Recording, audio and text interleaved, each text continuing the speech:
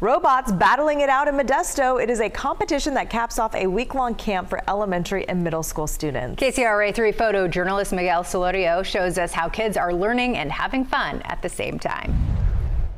Three, two, one, I am really interested in robotics and how the wires and the robots work because it's pretty much making our lives work these days.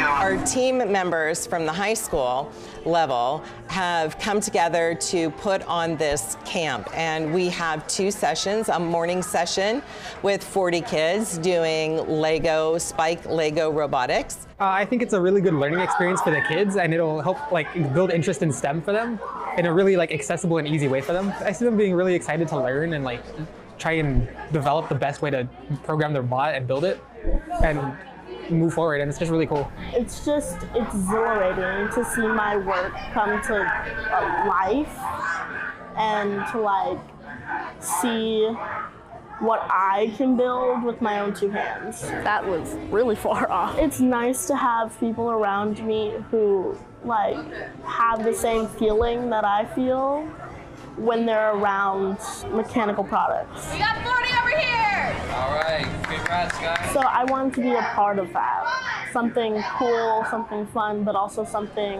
that I can be creative and help in the world. Well, the camp is pretty popular, as you can mm-hmm. imagine. Both the elementary and middle school sections completely filled up. These kids are having so much fun mm-hmm. and learning. It's awesome. Yeah.